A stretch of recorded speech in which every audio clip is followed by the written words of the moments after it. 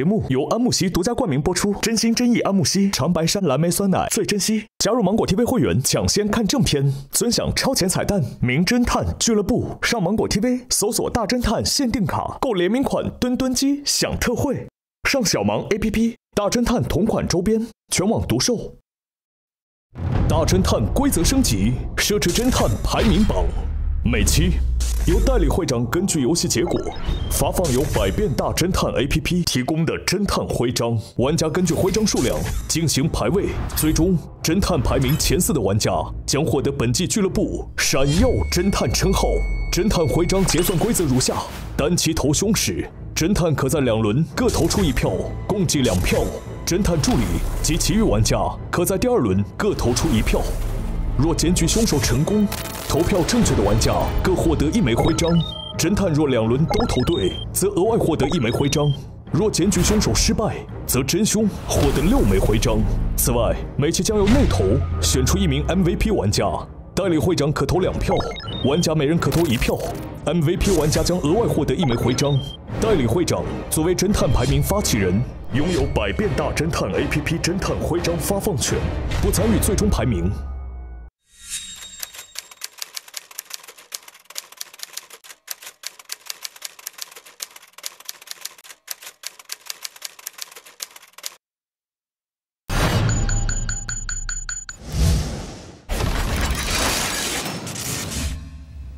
西辉市，一座充满欲望与繁华的罪恶之都。近期，西辉市著名收藏家真收藏斥资一亿，从匿名卖家手中购得名画《橙色》。消息一出，便引起疯传，犯罪分子隐藏在混乱之中，像蛇一样伺机而动。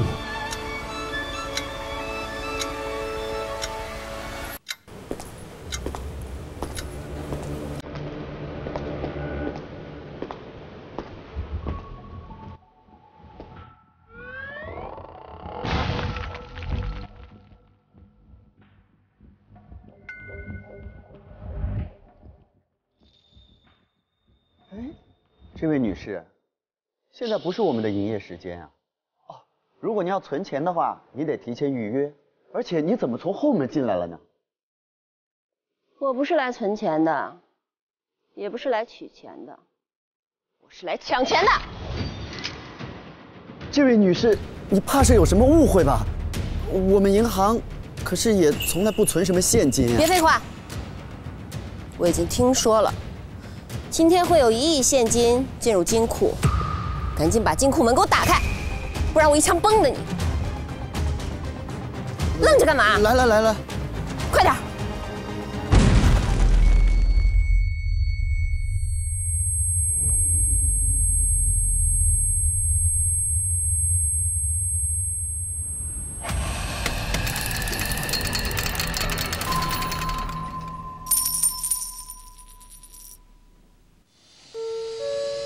士们、先生们，飞机已经降落在西辉市，祝您旅途愉快。哎，相见时难别亦难，这几个月他就是取钱难。是，上个月您发我的一千八工资也还没取出来呢。一千八后边再加几个零啊！不要这么低调和保守。好，大半夜的，让我们这种身份的人坐红眼航班过来，哎，也真的是够了。这银行的老板啊，不识抬举，找他聊聊，没问题。怎么回事？哎呦，什么什么意思？哎呦，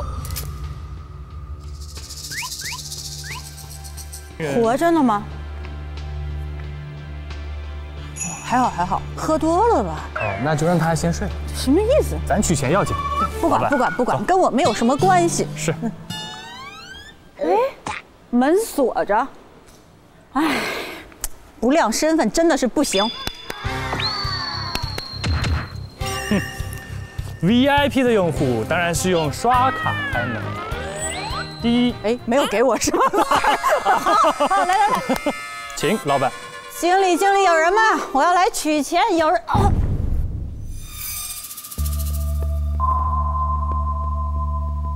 哎，怎么都躺着？什么意思啊？他们这里是发生什么事儿了吗？怎么回事？老板，你看那边好像有爆炸痕迹。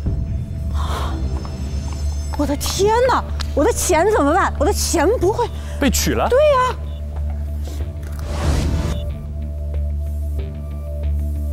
那边那位是哎，有一个人鬼鬼祟祟的，我去，我去拿下。把他给我抓回来！哎哎，别抓不住我，别！我是一只谁也抓不住的蝴蝶。你看不见我，看不见我，看不见我，看得见你，过来吧！看不见，看不见，看不见。一定就是他，把他给我抓过来！隐形侠变身，看不见，老实点看不见老实点老实点。走我从小就不老实，老师让我坐第一排都。我啊，抓抓我呀！干嘛抓我呀？我你跑啥呀？你心里不虚，跑啥呀？何婉，这样你把所有的可疑人员都叫过来，我到那边叫那两个，好不好？。对，抓我干嘛？想拿我的钱，怎么可能？你们俩是谁呀？干嘛来了？你管我们是谁？看不出来我的身份吗哇？塞，你这裤子高，怎么腰这么高啊？因为我是富婆。我富婆怎么了？醒醒，这位女士醒醒！哇，发生了什么？我我我我我是富婆，我是富婆。哎，醒醒，醒醒！哎哎，怎么见人就跑啊？咋的了？干啥亏心事儿了？哎呦，哎，我怎么看你眼熟啊？你眼熟啊？你是谁呀？开饭那个？你是开饭那个吗？啊啊！打劫了！打劫了！啊！啊啊！有枪躲下，蹲下点儿。啊！过来过来，大家都不要抢劫。了吗？刚才？怎么这么多人啊？能不能尊重一下我们银行啊？现在不是我们的营业时间。再别跑，我帮了你！哎，哎呀，不是不是不是不是上上上！哎，你也有枪？我也有。怎么都有枪？这是搞批发呢？这是？我不管，我现在是来取钱的，我要取钱。哦，这不是我们天鼎银行的 V V V I P 客户星探女士吗？对哇哦，您深夜造访，有失远迎，真是太冒昧了。但是你取钱没有预约，那也是没有办法的。没办法，想想办法呀。为什么会有一个文质彬彬的少年拿着把塑料枪在这里搞啊？以我这种地位，连个保镖都没有吗？这是我的小荷包。哎，不管怎么说，我今天就是要拿钱。好快带我去金库，哦我直接去金库里搬。咱俩要去的是一个地方。这怎么富婆还撞型在一个那儿啊？不是，你们确定要去金库吗？我必须要去。我们为什么要去金库啊？为啥我要为啥我为什么要去金库啊？我还有事儿呢。你们不想看看钱长什么样吗？有什么事儿啊？有什么事儿啊？赶快吧，来了，快吧，来来快吧。不是，现我们金库去去这么多人合适吗？别废话，赶紧去。你看，你看，天天天这样，这女的，哎呀，来吧，参观金库喽。好，人脸识别，我们先试试啊。啊首先不是我，哎，哎，不是你，哎，排除了。来，人脸识别破案啊！你识别一个，你们既然自己能进，你们叫我来干嘛？那你识别就完了。真的是啊，但问题是我十万问的按密码呀，你们一个个盯着，能不能尊重一下我们银行？哦哦，那我们就君子之交，互相捂对方的眼睛不就完了吗？对不对？可以可以可以可以可以，互相捂，来来，你捂我，哦，我不能捂他哎呀，你捂我，来我们捂住，哎，捂住那有那么多摄像头，那我摁了啊，来按吧按吧按吧，看不到。没看到吧？啊，没看没看没看没看，零四，声嚷嚷阴的还行。开了开了开了开了开了开了。啊！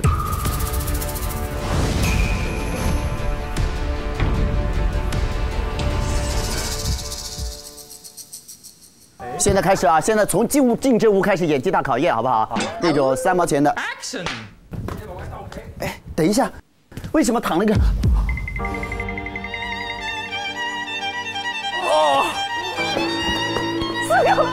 这得赔钱吧？这个这个，来下一个，来，大胸，四姐你难逃啊！快去快去，下一位下一位。爸爸。来了，儿子，爷爷。哎呀，儿子，儿子，咱咱俩是一块儿的呀？哎，诅咒！哎呦喂！今天是清明节嘛？咱们在咱们在干嘛呢？这是怎么回事？真收藏，二真收藏，真收藏是我们银行的 VIP 客户，他嘴唇是紫色，手指也是紫色。这个这是一个假肢，是吧？假肢啊，哦，还真是。这只也是。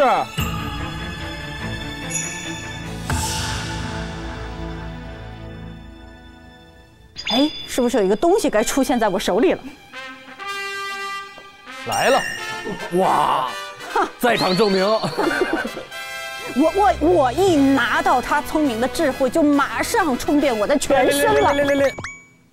现在你不但有钱，还有脑。啊对，关键还有病啊！就是脑子有病。来来来，您说吧这。样啊，我自我介绍一下，我呢叫心态，我是一个从事金融投资的，我是一个商界女魔头，辛探。看，现在同时呢，我是这里的 V V V V I P 客户，因为我今天跟小何宝是一起来的，我们俩可以互做不在场的证明，所以呢，我们就是今天的侦探。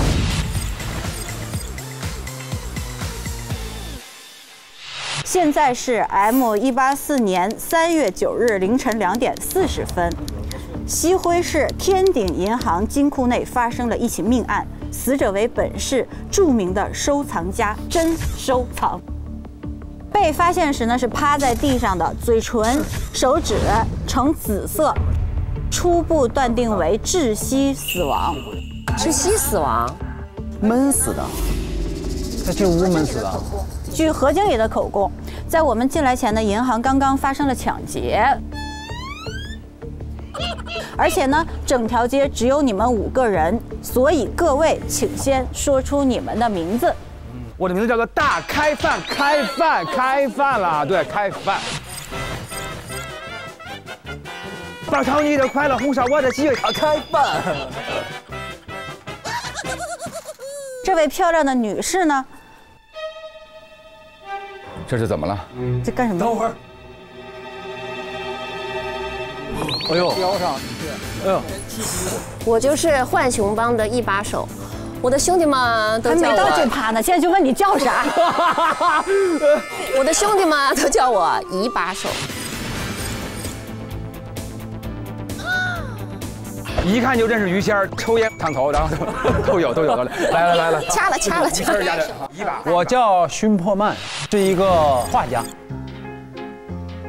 我就是在开饭前面的那个人，你可以猜一下我叫什么？采购。不是，就是开饭前面不是得有一个人说吗？来来来来，开饭开饭啦！啦！开饭。什么？我叫张罗，看起来我像是一个商场的云兵，但其实我是这个银行的夜班经理，我叫荷包谷。我是祝各位荷包鼓鼓。哦，哎，这话我爱听，我爱听。这样吧，我们接下来集中的到一个地方，仔细的还原一下案情。来，走。来，各位这边请。各位好啊，再正式自我介绍一下。财富让我获得快乐，也让我失去烦恼。我是著名的金融女魔头，我这么多年白手起家，兢兢业业奋斗到今天，我什么人没见过？我这双眼睛，你们心里有什么小猫腻儿，我一下就能抓出来。所以你们今天最好给我老实的自我交代一下啊！哦对，还有你，这是我的。是，谢谢谢谢。大家好，哎，我是这位星探的保镖。虽然我看起来文弱，但架不住我有一杆好枪。哦，拿枪都是的，跟拿拿拿带鱼似的，就这么拿出来。走 所以之后说话注意这点，都说实话啊！哎哎哎，别对人都说实话别别别，咱们小好好聊天。只能说今天这一组侦探破案的手法相当粗暴。不要在这里大放厥词，也许自我介绍完我就破案了，给我小心一点。我，太厉害了！这位鼓掌鼓得最欢的朋友，请你自我介绍。我叫做荷包谷，祝各位荷包鼓鼓。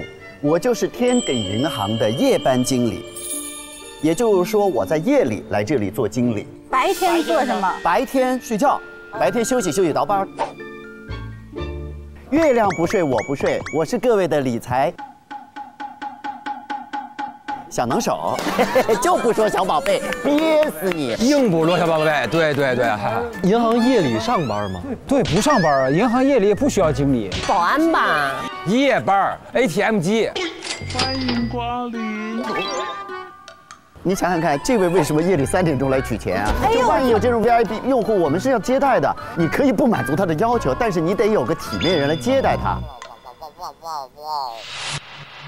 我要顺带简提一下我和真收藏的关系吗？呃，下一轮，下一轮，我会有一个自己的 schedule。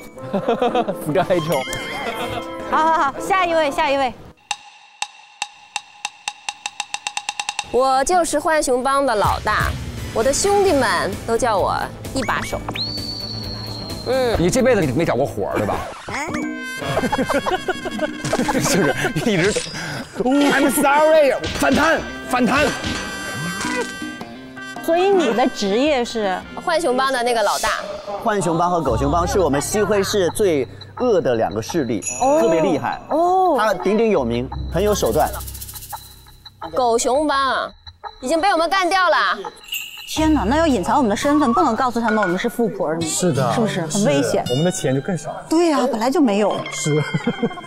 下一位穿马甲这位，既然你诚心诚意的问，那我就大发慈悲的告诉你。哎呦，感谢您嘞。我就是每天阳光与快乐，要让世界变彩色，用一支画笔拯救这个世界的熏破漫。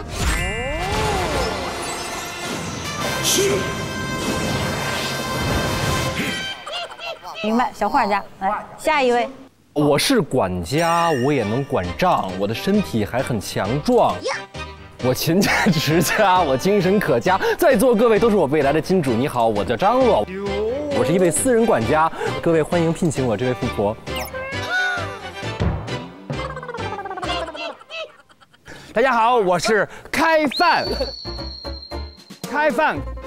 对对对，我就是专门做饭菜香飘香的大开饭，是的，大开饭。对，我的我的才华就是能够调节邻里之间的那些那些吵架。只要我的摊儿一出来，上一秒大娘还在骂街，下一秒嘴里就全是我的饭，已经说不出话来了。哎呦，所以说我非常的有用，在这条街里头非常的受欢迎。嗯，用美食治愈别人。是的，嗯。听起来好像谁跟谁都不不挨着啊。对，这是最可怕的一点。我接下来想了解一下，各位呢跟死者是什么关系，认不认识他，以及今天为什么会来到这个银行，怎么就晕过去了？今天非常的心疼两位侦探。哎呦，怎么了？反正从我这儿就很麻烦，嗯，因为。我不认识死者啊，你不认识啊？嗯，我明确的来讲，跟他有假死、彼死、你死的关系。什么玩意儿？Just business，just business，哦，假死彼死，just business。哇，来来当侦探还得先上点英语课。哎，是。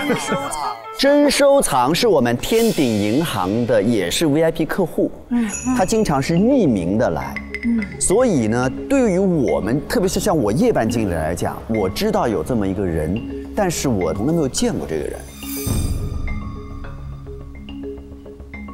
但是作为夜班经理，我有一条重要的信息要呈给侦探，请讲。就在。他说他吃蒜了，说你吃完说你别也嫌弃我。现在还在吗？我不知道，刚才没来得及打开看。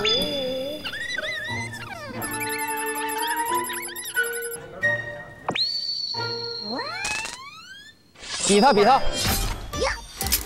这是收藏，收藏了一幅名画，放在了我们的金库。啊，对他银行经理他不能说。那你是怎么晕过去？是被名画吓晕的吗？就是我今天在这值班，因为我就是打工挣钱嘛。我在这值班的时候，然后突然有一个红发的美女从后门进来了，我就特别吃惊。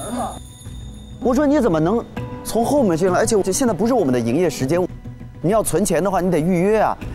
他就说我不是来存钱的，也不是来取钱的，就拿枪比着我说我是来抢钱的，就要我把金库打开。然后这个时候突然一声爆炸，我觉得耳朵都要聋了。然后完了之后我就晕倒了。下一秒就是一个绝色美女把我摇醒，也是红头发吧？绿衣服。哎呦，开饭！是我吗？哎呀，不是我。这么舔侦探，你一定有身份。哎呀，哎呀，这么处心积虑，这么舔侦探，没有想到开场一段这个小小的东西就开始互踩了。是的。这个红发的美女呢？你认不认识死者呀？我不认识她。那你今天为什么来银行呀？抢银行，我都说过五次了，我是来抢银行的，能不能尊重我一点？既不尊重银行，也不尊重结尾，好吓人。那你怎么晕过去了呢？你不是来抢银行的吗？我就是在抢的过程中，然后我让那个荷包谷帮我把门打开，这时候突然就爆炸了，然后我俩就一起晕过去了。你抢银行的时候为什么要 cos 美人鱼？我这我早上起来就这个样子。他现在是纯素颜，对我纯素颜，头发也是这样子。哎哎，你能想象 cos 美人鱼抢劫是什么样吗？腿也没腿在这，地上铺了。你给我，你给我倒下。然后拿枪架。下一位，认不认识死者？呃，见过，见过。今天大概晚上两点十分的时候，在那个西辉大酒店见过。这么晚见面，哼。OK，明白了。那你之前认识他吗？呃，之前不认识。那你为什么会来银行？我不是要来银行，我其实是要去停车场，就是去停车场取车，然后在这发生爆炸了，然后被然后被炸晕了。下一位有没有那个认识死者？这是我的老板，我的金主。那你今天为什么会来银行？我没有要来银行，我一点四十五的时候，我要去停车场找我的老板。然后我就一直在那个很大又很昏暗的停车场，我就一直在找我的老板，我也一直没有找到。直到两点零八的时候，我找到了我的老板，但是他不想见我，我就追追追，他就跑跑跑。因为又黑又昏暗，而且当时发生了一些别的事情，导致我这个追他不是那么顺畅。中间我遇到了一些阻力嘛，然后我就听轰的一声，我就被炸晕了嘛。你得说清楚啊，因为到现在你这里有点混乱啊，我们已经要逮住你了。他已经破案了，百分之八十了，百分之八十确定。那我就不用问了，对不对？他们其实办案特别简单，就是草率，草率。好，下一位，下一位。我是一一条蛇撕婶来的，我没有见过他，对，我就是被那个炸完之后一个巨浪震晕了，对。啊。所以各位就是如你们所说的，最后一次见死者还有没有消息要补充？因为最后一次他是两点十分，他是两点零八，你们三个有见过吗？我没见过。我见到就是跟您一起在那个金库里见到他，人生当中第一面也是最后一面。我见过他。你什么时候见的？我本来是来抢银行的嘛，然后我把车要停到停车场，然后我就在停车场的时候见到了。你几点见到的他？我两点多的时候，我就在那儿坐着等一个好时机来抢银行。对，嗯。这个时候突然来了一个人路过我，他跟我认识的一个人长得很像，就是这个死者。所以你觉得你在那个时间见到了这个人？我还下下车去追他了。你也追他？啊，他就跑了。你的这个时间是几点？两点零八到两点十分。你两点零八到零点十分在停车场追他，我追追追，然后发现有几辆车过来了，我就有点害怕了。可是他两点零八的时候也见到他老板要追他老板呀。我们零八在停车场见的是对的，包括什么来了什么车什么的啊，这就是当时我没有顺利的追上他的原因啊。你有看到一个红色的拖把在追你老板吗？啊，没有这个拖把这件事儿。火流星。何经理没见过，没见过。开饭没见过。然后两个是追，一个可能还有点交流。对，本来想第一轮把凶手揪出来，现在看来此事有点蹊跷，那我们就争取在搜证完事儿把凶手揪出来，好不好？再推一推。你看今天这个服装吧，我总觉得侦探一会儿就会睡过去。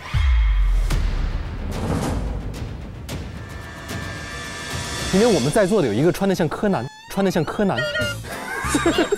身 材你怎么说？现在基本信息我已经掌握了。那么第一轮是我小何宝、勋破曼和张罗一组，剩下的是第二组何经理、一把手还有大开饭。接下来就开始搜证。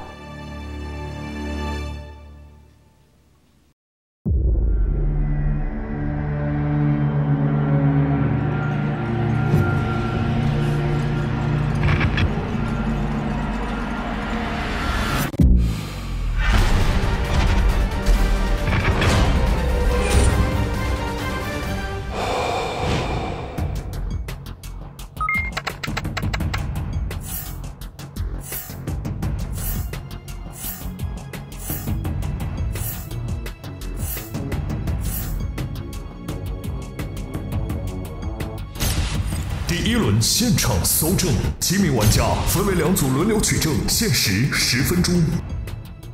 探案神器，M 七 M 七。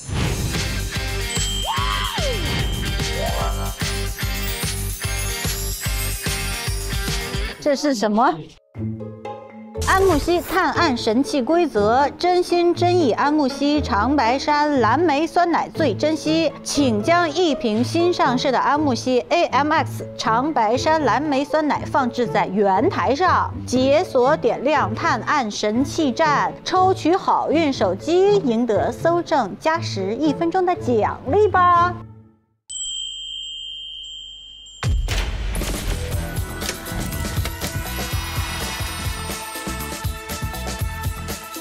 啊，我是我三号，我五，嗯，哦又有，我拿到了幸运机，行吧，那我们出发吧，走。走，咱废话不多，直接开搜。好，这样你先去现场，然后我去他房间。好，没问题。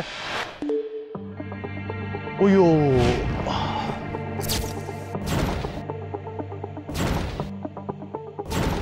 这儿有个，这是个啥呀？像是一幅画。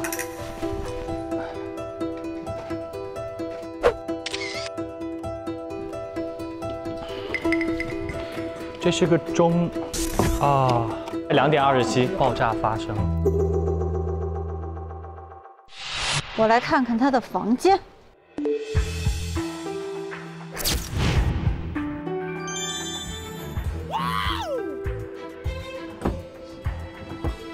哎，什么？嗯，告知 out，申小鹏男行为恶劣，触及帮派底线，开除。管你是浣熊还是狗熊，今日之耻我必奉还。申小鹏，嗯，保险柜里应该还有东西。这是什么呀？望远镜啊？还是位天文爱好者吗？哎哎，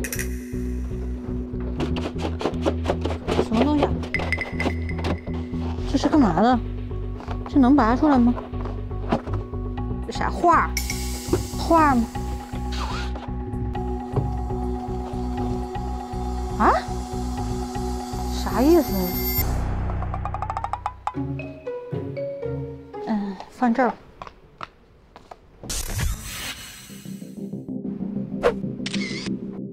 搞得神神秘秘，藏品意外保险投保单，橙色。哦，是那幅保险受益人，藏品意外丢失一亿元。嗯，还有什么？哦，粉色的药沫，谁又让他喝什么了？这一定是。还有什么？这又是啥？要啥有啥，小卖部微型炸弹，他买的炸弹，那他炸炸完之后他自己怎么死里边？嗯，荷包骨。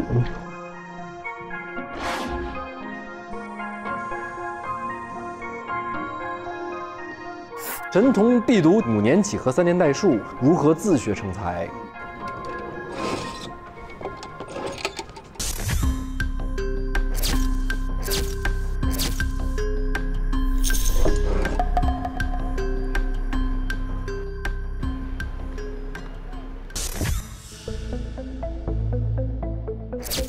人何老千金欠狗熊帮西辉币五百万，共同债务人配偶何母亲儿子何包谷。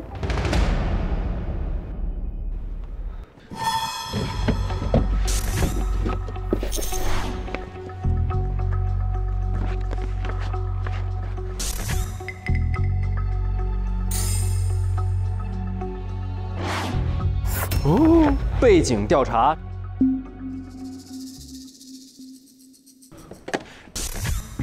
啊，这是一个题啊！AMS 股真是只潜力股，他们那个产地直采的 MCAMX 长白山蓝莓酸奶，减百分之五十蔗糖，多百分之三十五蛋白质，健康又好喝。连接电脑的密码就是试试把相同的字相互不交叉的连接，什么意思啊？哎，小何，小何，这个题面你看得懂吗？这个是什么意思？他应该是走这个，把所有的长白山这个就是这串字儿，给它根据这个语序连起来是吧？根据这个语然后序先连长，然后算它中间经过的格子数，然后这个数量应该就是对应的那个，它只要保证互不交叉就行。这样，对，长白山山山对，梅然后梅梅在，还有一个梅在，哦，梅自己在这个焦焦点上，嗯，钻，对，奶，这样数数，一二三四五六。六，对，六白是五。六。三五。蓝七。梅就梅零。啊，酸是四。奶。八。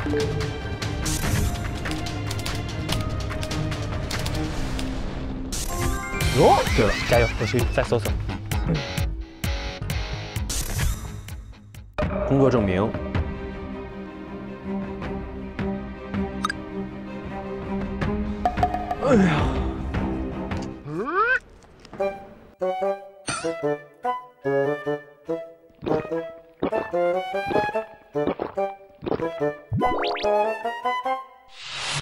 开搜一把手。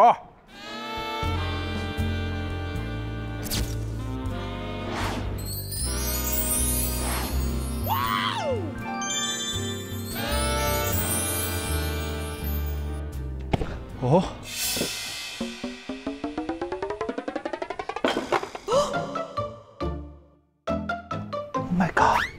不会让我赔吧？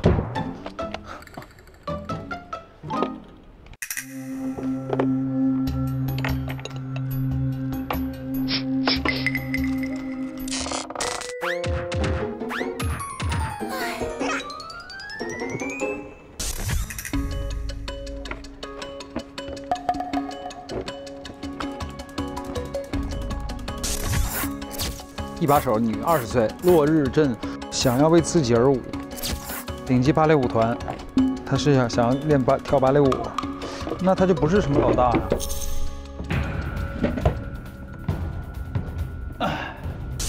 巨富商厦安保费用明细。巨富商厦是什么玩意儿？哎呦呦！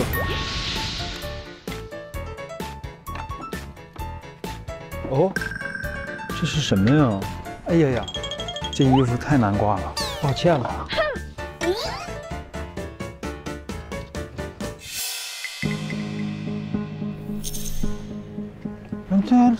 哦，这还有个箱子，我还没看呢。哎呀妈呀！哦，接下来一搞钱，二嘎鲨鱼。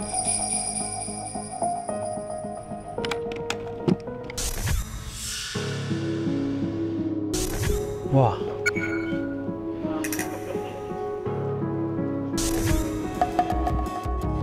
这是他的一个什么意思啊？这衣服裤子是又是什么？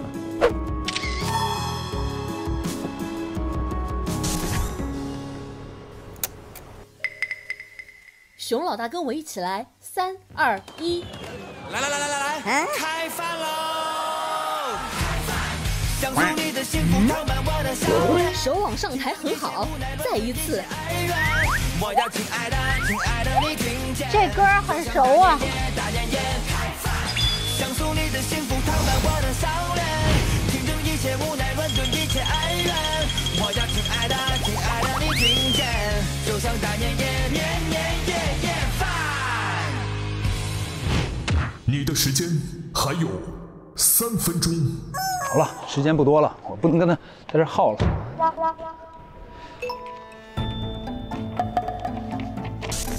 天鼎银行，它有物理防护，金库为特殊材质，隔绝一切爆炸声波。我去停车场。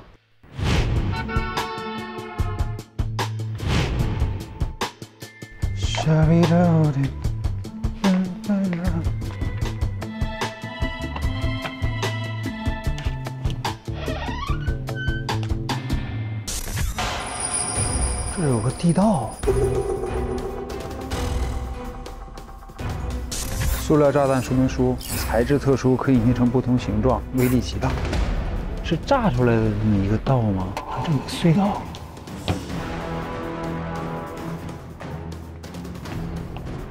车也打不开。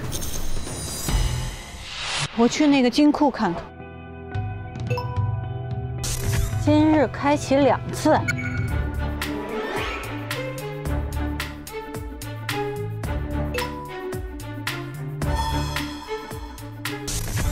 库安保防火系统手动触发按钮已开启，防火系统已开启。他是怎么死的呀？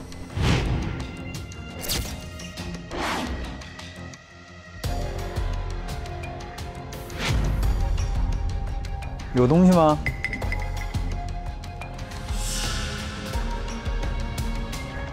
张罗张罗。这这这啥呀？这是他那衣服的料。那他是怎么进去过吗？对，之前被关在过这里。这什么意思啊？哦，能打开。哦哦哦！这这还能打？还能打？还能打？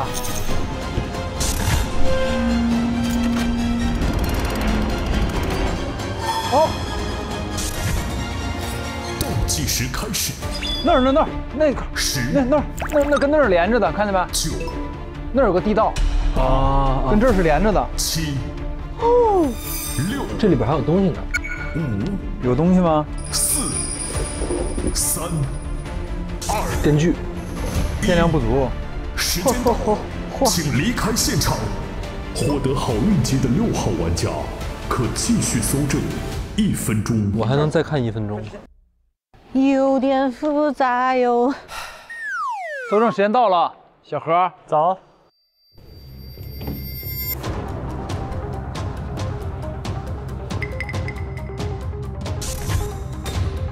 为什么弹头不在里面？时间到，请离开现场。OK 了。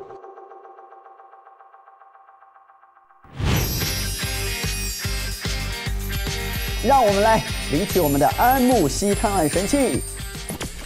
六，我就拿我面前这个吧，好不好？行，那我拿这个吧。行都行。二，一，七，这人家已经拿走了，拿走了，对，我就说嘛，咱仨还这。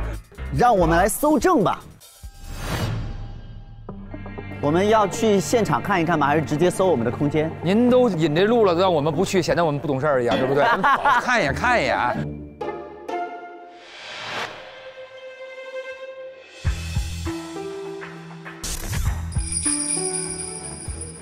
来吧，咱们看看他这个这这这不锈钢的这个超轻快速拆卸。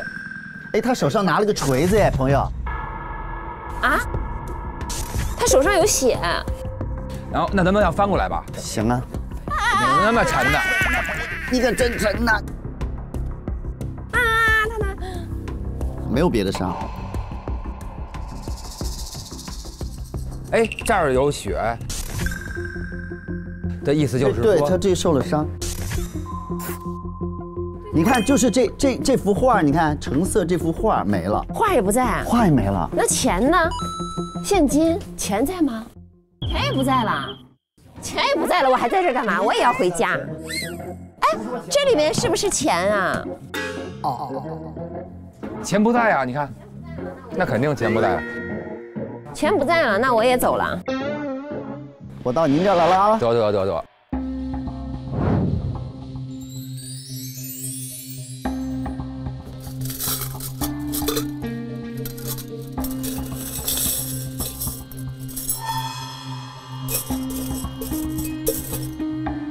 这么可爱的吗？嘿，老板大开饭，用妻子好好喂。为店铺起名，尽显恩爱。哦，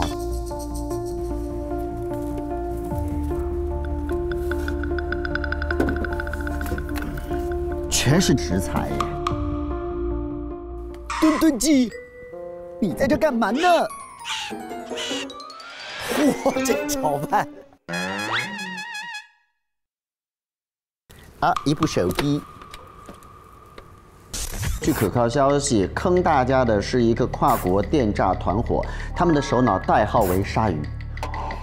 这有一个什么东西非常的好吃，我在这搜证，口水都要出来了。是这萝卜吗？好香啊！我要搜一下张了。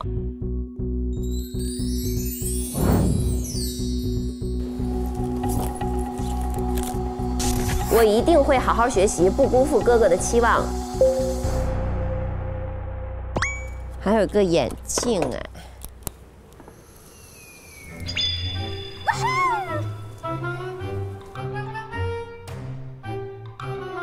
《孙子兵法》。这谁啊？张乐和甄小鹏今日结为兄弟。甄小鹏是谁啊？看看上哦哦，手机。郭仔，你帮帮我吧，我不甘心被开除。一手消息，明天晚上就有个机会，浣熊帮和狗熊帮约谈。哼，来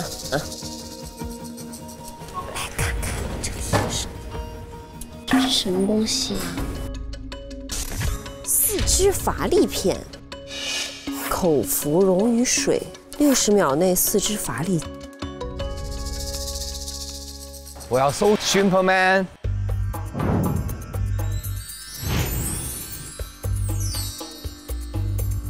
一上来就有证据，你看看我多聪明！坐落于了已成地标，垃圾桶里一定有东西。走，开桶，麻醉剂、针头、带血的一个镊子、弹头、箱子，这里有东西啊，肯定。你看看。哦，破浪姐比我难多了，我要继续努力挣钱，给奶奶做手术，真的可以挣到钱，还多亏了我们破浪姐，她真的是太热心了。哦，破浪姐是谁啊？就有一个睡衣，睡衣兜里有东西，你看看，我怎么这么聪明。黑名单是唯一一个人，就是这个破浪姐，肯定被骗了。你的时间。还有三分钟。哦，威士小黑，金库结构图，啥都被你知道了。还有什么吗？这里，哎呦呦，一周读完新锁也能开，锁定你了，高阶版锁不好的好声音。哇！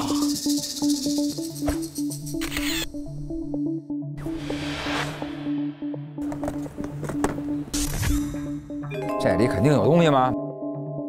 创口贴，哦，说明他受过伤。这有一个捏碎的纸，我把它铺平。哦，他要画假币。倒计时开始，十、来看看这件衣服，七、六、五、四、炸弹引爆器，三、这个很重要。一，时间到，请离开现场。每回做，每回翻这东西跟小时工似的啊，整理被子。打扫的阿姨，我有手机，哦，这是我的手机啊。大老师呢？啊，这儿呢。大老师又在日常找手机，走吧。第一次集中推理，根据搜集到的线索完成推理。我们俩先把他们的关系梳理一下。没问题。这个是死者，真收藏和包谷，他是他的客户，他的管家，雇员的关系。这位美女，她说她长得像她的一个朋友。这位画家在酒店跟他有一段交流，这位就真的是很迷了，也不知道为什么就被炸晕了，就在那儿。行吧，非常的清晰，看我们俩思路。还有比我们这个组合更清晰的吗？没有了，是不是？没有了，把他们带进来。好，那我们先从勋开始，好不好？哦吼，勋，啊，首先我搜的是一把手啊，我先搜到一个皮的裤衩和一个皮裤。裤衩都要穿皮的，这对自己好一点不行吗？然后在他这个柜里找到了一张他二十岁的时候的一张照片，他想要成为一个舞蹈演员，就是舞蹈家。嗯，是 穿着皮裤的舞蹈家。但是他是旁边放着一个芭蕾舞鞋，但我不知道芭蕾舞他穿不穿皮裤，也可以穿皮裤。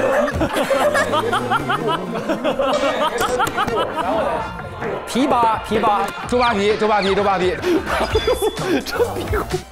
这什么意思啊？你是有一个这样的梦想吗？你想知道我为什么把它给弄皱了，对不对？对。因为我从小就是长得很好看，然后这话说的出口也是可以啊。这行这行，角人物角色，这人物角色。我的妈妈是舞蹈老师，然后我又跳舞跳得非常好，所以我的爸爸妈妈呢，他们就从小把我当成我们家里的门面。嗯。然后他们每次天天站门口，不知道进家门根本就啊。然后他们每次出去 social 的时候，就利用我来去结交客户啊，招揽学生。就是说见面说张阿姨，你看我，你看我女儿，叭一下转起来了。肖肖彩琪。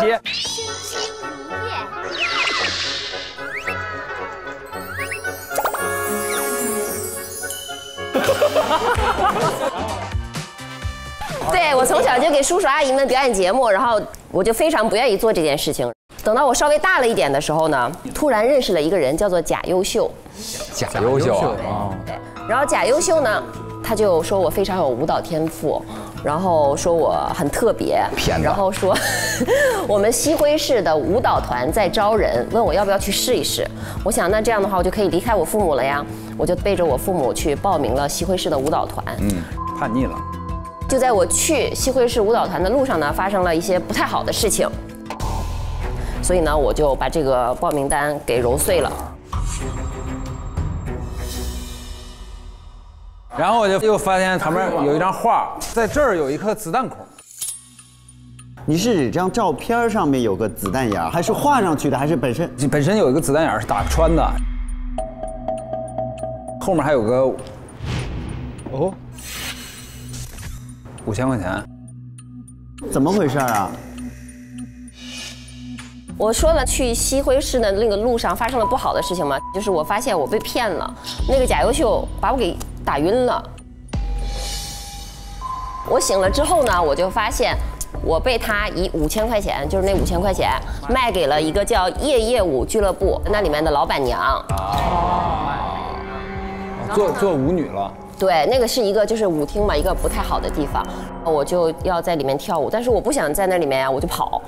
我每次跑呢，我就被毒打。既然被毒打，那我就先活着，然后再想办法。我就呢在里面没日没夜的跳舞呀，非常努力的。跳什么舞啊？是那种舞龙舞狮吗？就是每天。芭蕾舞。这个夜总会跳芭蕾舞，它也是 审美有点格调的。我就成为了我们那里面那个最卖座的舞娘。舞后。这样的话，我就可以争取我自己更多的谈资，去跟老板娘谈，说我要什么时候休息啊，或者怎么样。这个上面有一个子弹孔，就是因为我想提醒我自己，就是我要断情绝爱。然后我就打了自己胸口一枪。自己过去这个屈辱的过去，让那胖胖报复了一下。嗯。就是提醒我自己，我就是为了这五千块钱就出卖了自己的人生。那请问你为什么在舞厅工作的时候会有枪呢？这是什么时候打的眼儿啊？这块儿？呃，就是我有枪了之后打的，怎么样？说的非常合理了，说的有理有据。行，又来了，又来了。哎，给您递个火，来一根，来一根。你送黄瓜还有吗？给我再给我一根黄瓜。真的还有，我的天！哎呦，哎呦我。你揣这么多这个干嘛呀？巧克力棒吗？这是。下一个是一个声音的一个。熊老大，跟我一起来，三二一。这是一首世界名曲。哎，这不开饭吗？上抬，是还是开饭？再一次，你就是最棒的。想从你的快乐共享我的心意。浣熊帮的熊老大说他自己失眠，我说啊，那正好，我可以帮你治疗你的失眠。啊？怎么治疗呢？跳操，就是用这首歌跳操啊。熊老大跟我一起来，三二一。他就每天跳，他饭前也跳，饭后也跳，然后跳到累了他就睡着了啊，所以累累坏了。然后一定要穿上皮裤跳操，为什么要穿上皮裤呢？因为它可以防止你的那个肌肉不被拉伤。太荒唐了，我想离开这里，我想离开这里。荒谬，我真的是觉得太荒唐了。忍一忍，我的故事是正常的，不是不是所有故事。有一天，我们店里面来了一个老大，给了我们老板娘很多钱，十万吧，说让我专门给他跳舞，我就只能被迫营业。然后跳着跳着，那个老大说我不用力跳舞，然后他说我自己亲自给你跳一个。老板换上了皮裤，就是开始给你跳哇。然后呢，他就拿他那个平起子划开了我的皮肤，要展示一下他的力量。啊？哦，他划开你的皮肤，这个跟他力量有什么关系呢？我不知道，他就觉得我可能不太用力跳舞吧。故意。我就哭喊啊，求救，然后发现外面根本就没有人理我。因为我们老板娘跟外面的人说好了，就不要管我。那天晚上来我们这儿点我跳舞的那个人，他是狗熊帮的二把手，叫狗二。嗯。然后我就发现他跟我老板娘呢，其实是两个人，他们私下有联络，他们在走私方便面。我们西辉市严厉禁止方便面，怎么这儿不能吃方便面。我们堕落街区的走私方便面其实已经被浣熊帮垄断了。这个时候呢，我就去找了浣熊帮的熊老大，我就跟他们告密，我说那个狗熊帮他们在偷摸摸的走私方便面。熊老大呢就把狗熊帮走私方便面这事儿呢抓包了。狗熊帮呢就是为了证自己的清白，就把狗二给杀了，等于你报了仇了。对。一来二去呢，我和熊老大就成为了非常亲近的人，他就把夜夜舞送给我了。然后我就变成了夜夜舞的负责人，这就是这个音响的事儿。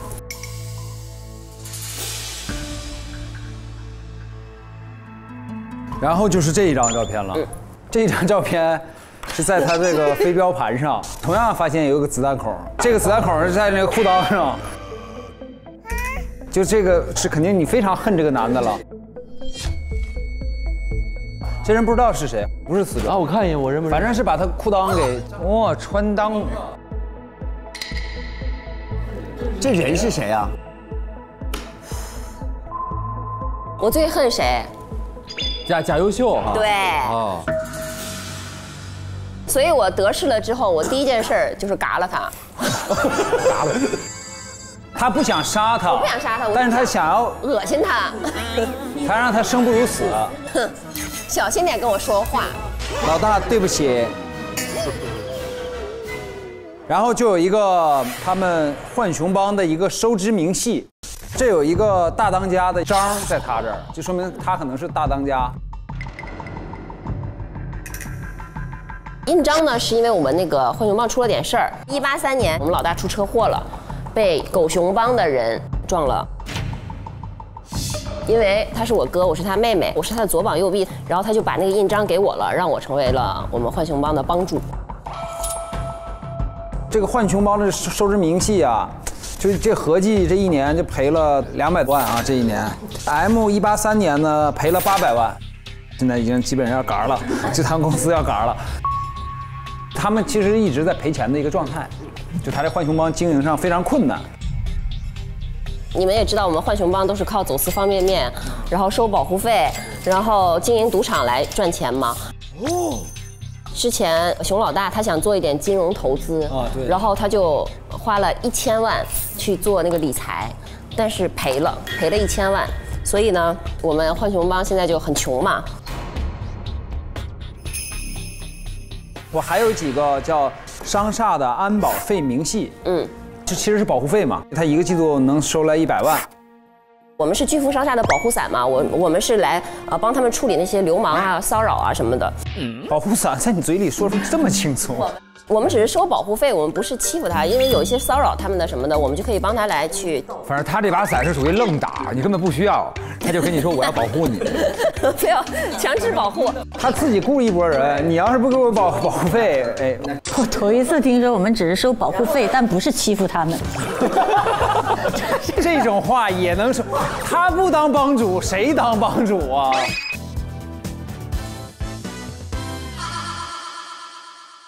然后第四季度就已经收不来钱了，也不知道为什么。然后还有一个是他的日记，M 一八三年一十一月一日，恶人也需要恶人的救世主，我需要跟我一起跳行刑舞的刽子手，如果没有，那就独舞。然后，M 一八四年三月一日，浣熊帮现在腹背受敌，熊老大高位截瘫。接下来，第一搞钱，第二嘎鲨鱼。啊，鲨鱼就是哎，鲨鱼是谁？那个保护费的清单不是收不到保护费了，是因为巨富商厦他们所有的商户被一个叫鲨鱼的人电信诈骗了。哦。每个商户血本无归，然后有的商户甚至自杀，有的还去借什么贷贷款啊什么的。我虽然是一个恶人，但是呢，我也会做一些对老百姓好的事情。因为我想到我小的时候也是被骗嘛，我知道他们很痛苦，我就跟我老大说：“我说要不咱们第四季度就不要收保护费了，然后让他们先恢复经营，休养生息。”嗯，我老大投资失败一千万，还有什么什么商户啊，都是鲨鱼在背后搞的事情。我为什么要嘎鲨鱼呢？因为我调查到我们老大出车祸，肇事司机他撞完我老大之后，他收到了一笔二百万的吸灰币，这笔佣金呢是鲨鱼洗钱后转给他的，所以就是鲨鱼收买了狗熊帮的人撞了我老大，所以我就想嘎了这个人。哎，你应该认识鲨鱼当老大不就完了吗？他这么聪明，我自己就是老大。哦，你哦就不服软啊？其实这人这么厉害，所以你见过鲨鱼的样子吗？他有照片儿。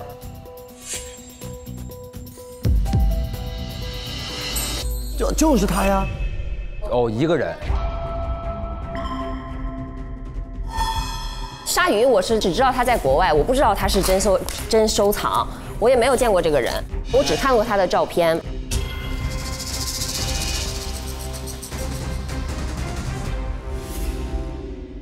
我把车停到停车场了嘛，这个时候突然来了一个人路过我，他跟我认识的一个人长得很像，所以你遇到他就是碰巧，你并不是说在那里。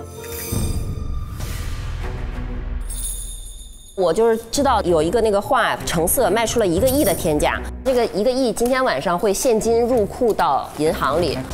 你怎么知道会有现金入库的？报纸写着三月六号名画抵达，天津银行行长史云表示，我们的银行的金库已经准备好了，妥善保管。银行内部这个银行行长也真的是，这就是说明银行自信啊。这是哎，我没明白，这是报纸上写的呀？对。哎，那我还在黑市里花钱买的这个信息。我我我冤枉钱，神经病。你看，这个报纸上并没有写今天进行交易，只说三月六号名画抵达西辉市天鼎银行，是画收好了，不是钱。所以我很好奇，你怎么知道今天晚上要来抢钱呢？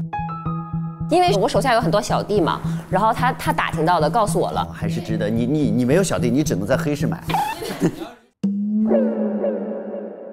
因为我们帮派实在揭不开锅了嘛，所以我来抢银行的。啊，我就在停车场，我本来在那儿等着呢，我是在那儿准备开始行动了。然后我在车窗上看到有一个人过来了，那个人正好有个刀疤脸，我想那这不就是我一直在找的鲨鱼吗？我就下车，我就去追他，我追他跑，然后呢，我就。开枪打他，我打中了他的腿，所以你们看刚刚那个尸体上，他其实被绑了一下，那个是我打中的。哦，这个时候我发现有人救援他，有子弹来救援他，不知道是谁，有人来打我。他呀，死诺死诺死诺干的。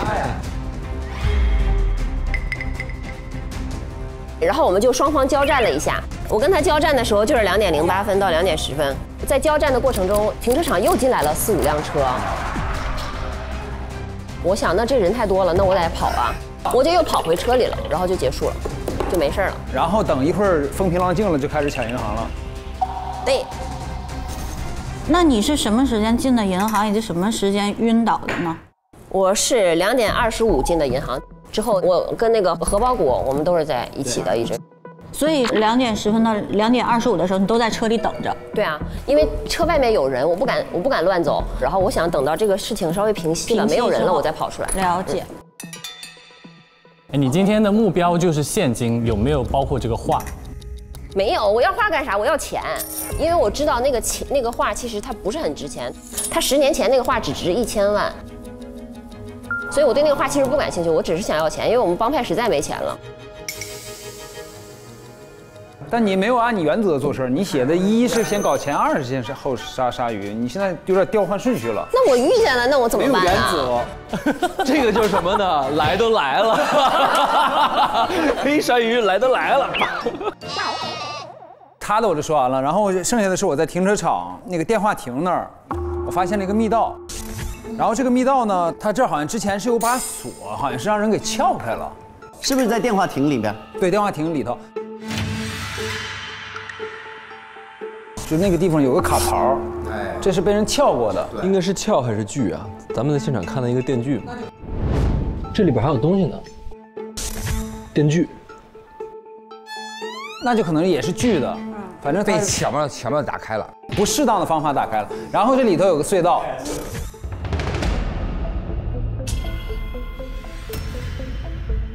在这个隧道这块，我还找到了一个塑料炸弹说明书，材质特殊，可以捏成不同形状。其主要成分是聚乙丁烯，用火药混合塑料制成，威力极大。嗯，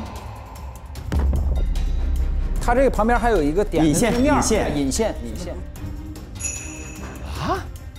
就是他可能走的时候他遗漏到那儿了，他可以带很多引线嘛，然后他把那个东西安完之后，然后那根用上了之后，这根就揣兜了，揣兜就掉了。等于你没有找到炸弹本体，但你找到了说明书。对，炸弹本体不是已经炸了吗？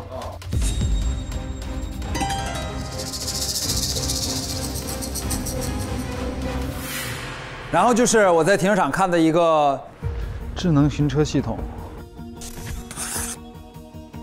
因为它这个停车场实际是非常大的，然后这是电话亭，然后这个旁边是那个我们看到那个白车，然后现在这有一个红车，我的我的就是红车啊，你是裤子、头发和车都是必须配色儿是吗？对，然后这是一白车，这谁的呀？这就是停在那边那辆车吗？这是你这当时的话就是那个大开饭晕倒在那儿。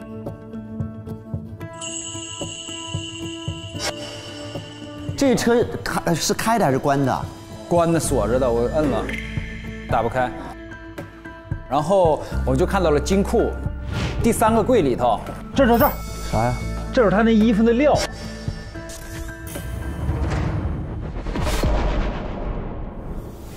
啊衣服的料啊。第三柜是放钱的还是放画的来着？不对，第三个柜是中间那个柜儿，是空的。最旁边，我我我想一下，最旁边这个是那个破了的雕像，然后这是个空的，这是个空的，这是原来放画的也是空的，这是那个有一个保险柜的，五个格子。反正中间有他衣服的纤上的纤维，所以可能死者之前是在这个柜里待过。啊，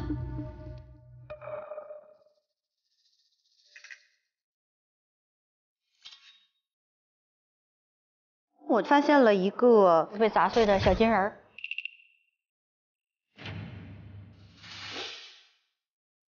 我觉得他大概率是从那个雕像里面出来的嘛，那个人形雕塑里出来的吧。对，以这种方式混进去。对，因因为我们的金库里面只会有，比如说东西进来，那么那个人形雕塑有可能这个针就藏在这里边。嗯。他从雕像里出来之后，他还发生了什么事情，让他在另外一个格子里躲了一下，那就说明还有人在里边。啊，还有人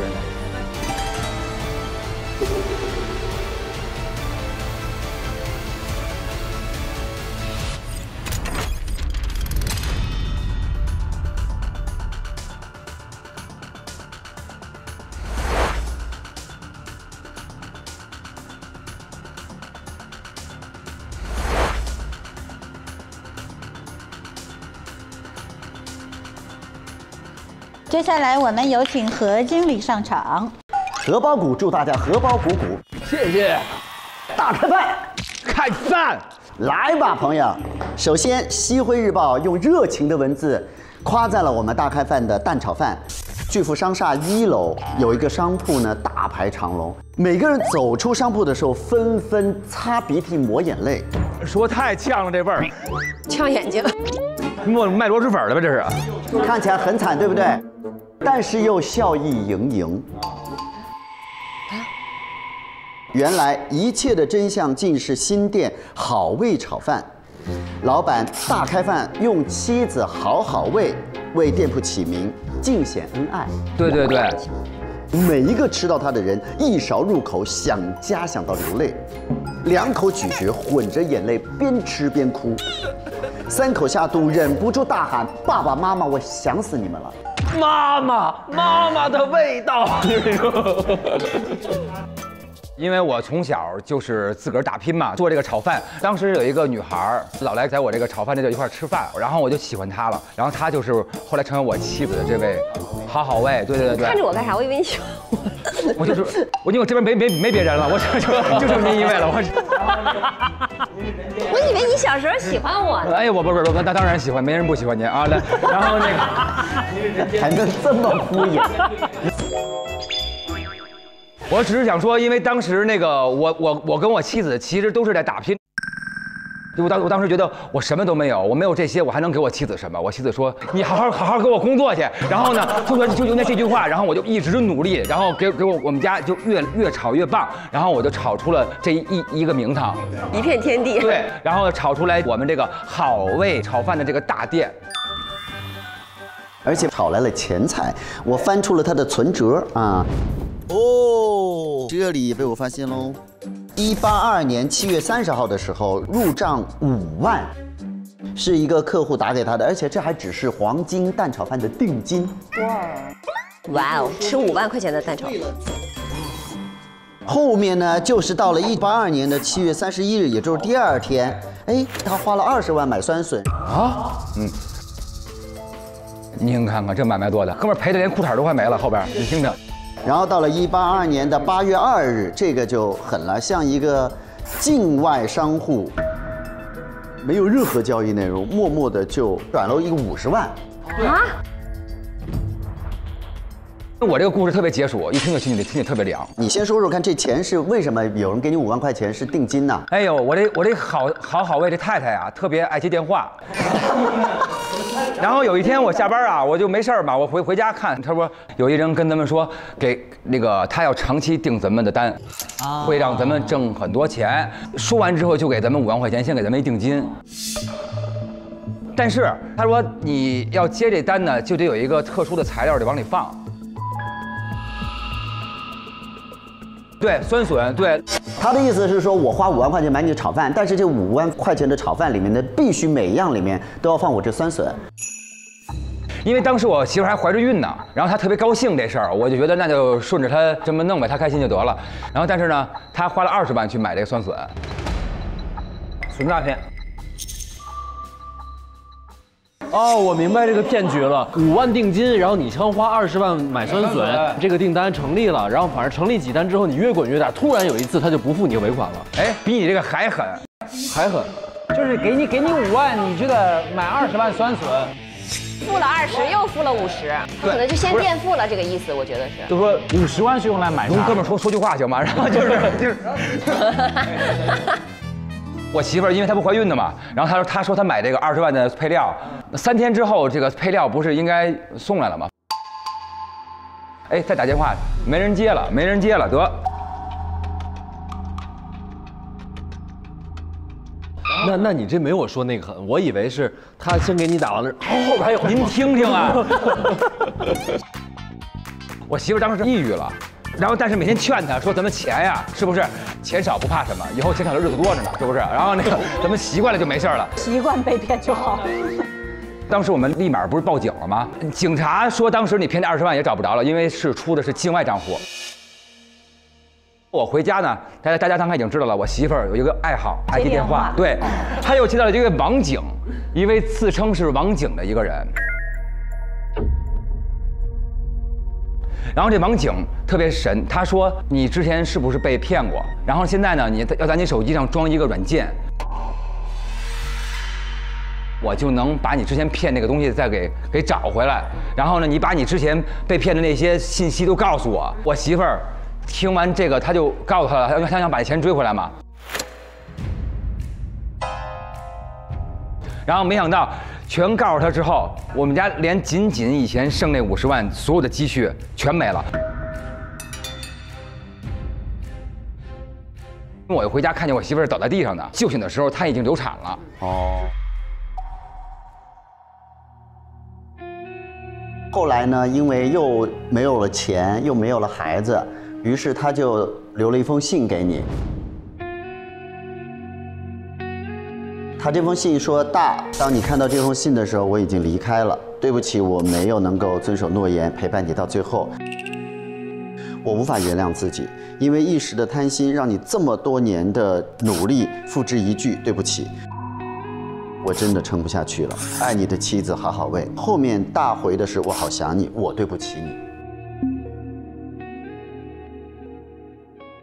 当时她流产完了之后，我天天照顾她，反正她每天就是叹气。”然后每天看着，因为我们当时做了一个那个婴儿房，有一个摇篮，孩子还没出生嘛，然后但是又流产了，他就每天每天在那个摇那空床。我之前备了很多的料，欠了很多债，就在有一天的时候呢，我还接到那个催款电话，我想他可能是听见了，然后当时我就出去了嘛。我再回来的时候就看见了这封信，然后他就已经走出世界了。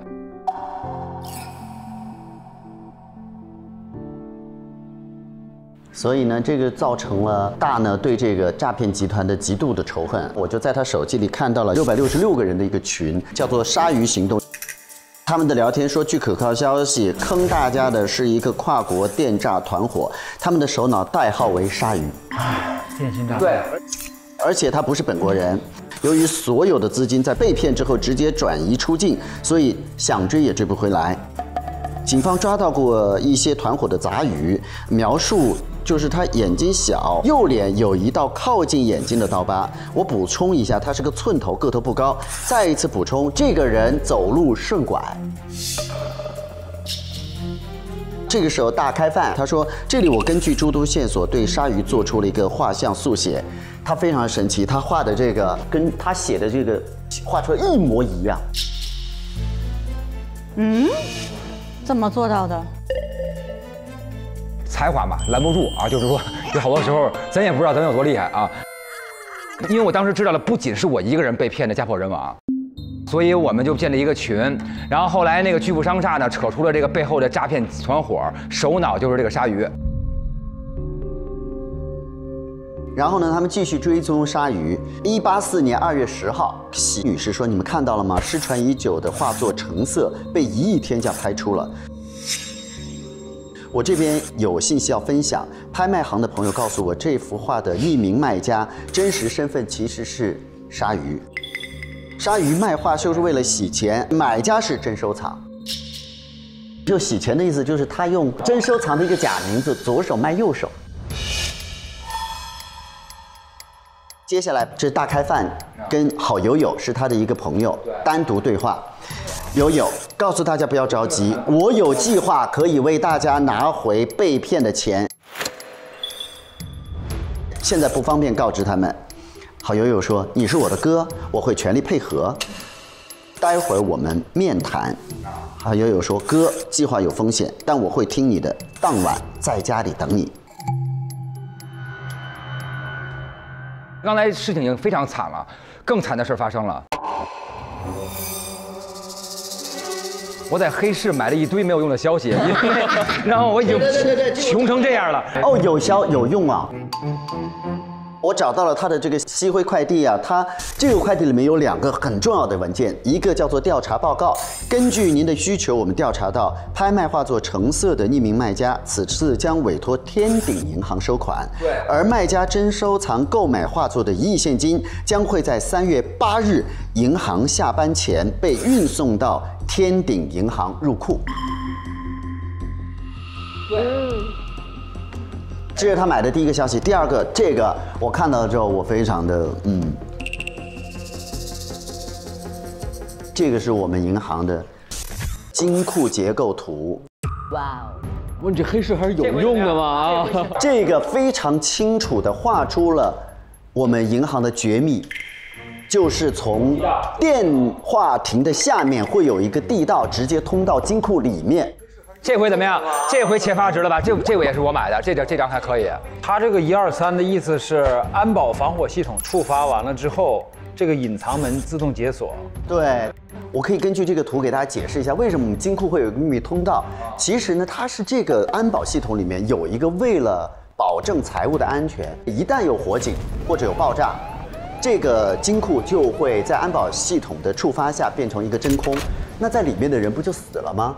所以呢，他就留了这么一个通道，等于是你触发这个的时候呢，你可以打开这个门，钻进去，从密密道出来。这个是一个双双层门，它就是这个人从这个双层门出去之后，不影响里面的真空状态，是这么对对对对对。你说你的计划吧。我的计划就是。什么计划？我是个厨师嘛，希望能够入口即化。我的计划就，我的计划就是说，我要把这笔钱给拿出来，分给我们这帮受害者。哦哦。他有四本书，这四本书一周读完，心锁也能开，锁定你了。高阶版锁不住的好手艺，第四本最重要，叫做从木头锁到。哦，Mumuva。Move Mumuva 就是我们今天现场的保险箱。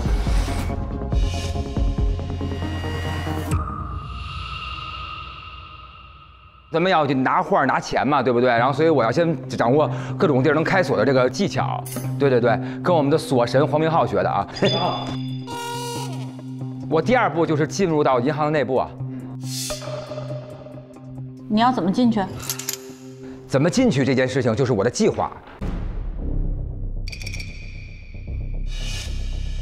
我第三步就是说，拿到钱之后我就顺利逃脱，开车离开。刚才你们都说特别丑那辆车是我的，哎那辆白车是我的，我租来的，我租来的。不就是那个门口那个电话亭边上那个车是你的是吧？对对对，我拿到我从那电话亭出来之后，赶紧赶紧开车走了嘛，就是这么点事儿啊。你做到哪一步了？我基本都做完了，但是发生了一些我控制不了的事情。走的时候又又又碰见别人了，反正就是麻烦，就中间没没走成。后来终于可以走的时候，咣机外边炸了，然后把我就给弄晕了。基本上这个过程就是这样的啊。那你的车牌号是是 A 零三 Z 四 C 呃 C 四？什么？你是保安吗？那边要挪车呀？还是要干嘛呀？因为你问那个停车费要结一下。哦，是。那引线是你掉那儿的吗？那那我都不知道这事儿，引线这事儿我真不知道啊。所以那我能问你是几点钟进到银行里的吗？哎，各位各位，呃，这个是应该是大家都听到了吧？一点五十七分听到银行传来警报，对，一点五十七我听见了警报声，我也听到了。不是你触发的吗？不是我触发的。所以你不知道他今天会到那个地方，对吗？他跟他到没到那关系没关系，他只是掌握了就是那个人的钱在这儿，然后那个钱是他们被骗走的钱。但是他是知道那个人长什么样的，对吧？我这个不是，但是我就要这么说啊，咱也咱也不能一一一一竿子打死，就是说我没一竿子打死，我只是这不聊天吗？啊，聊天聊这么狠吗？然后就是 就是，我只是画出来了，我没有见过真人。啊、但你也不知道你画的跟他是一模一样的，对吧？对这只是说你自己画出来。最重要的是，他不知道真收藏今天会去，真收藏今天会去，其实是一个意外信息。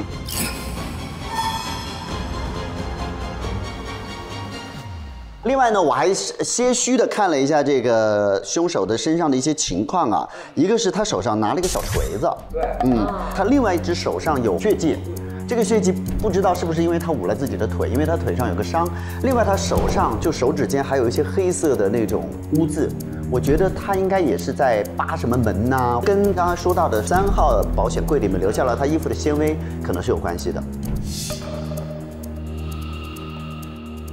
我就说到这些。好的嗯，好，讲完了。嗯谢谢谢谢。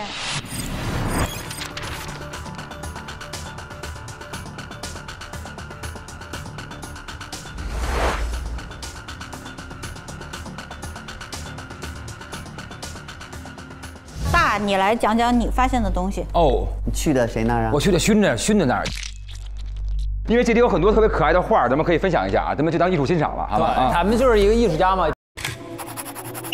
我们先看看我们大勋画家的艺术照。哦，这儿有一箱子，嗨，老李，开箱。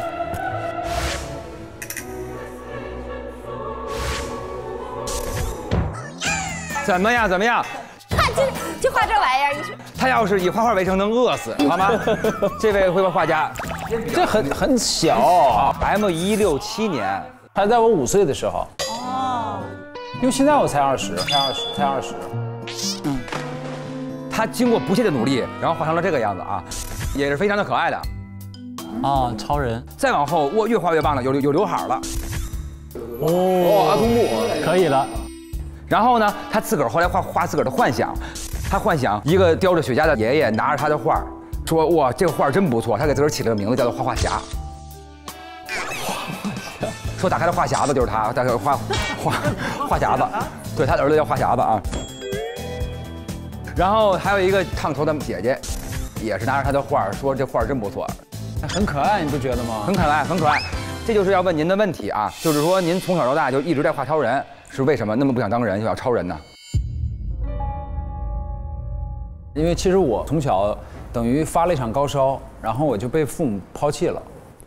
发烧就抛弃你啊？对他，因为我发烧太热了，他们怕热，然后把我。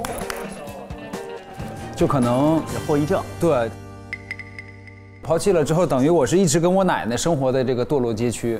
哦。然后我看过很多超级英雄，我就觉得啊，那其实有很多超级英雄也是没有父母的，所以我可能跟他们一样。所以我其实一直画画画的都是超人，是希望自己能成为一个超级英雄。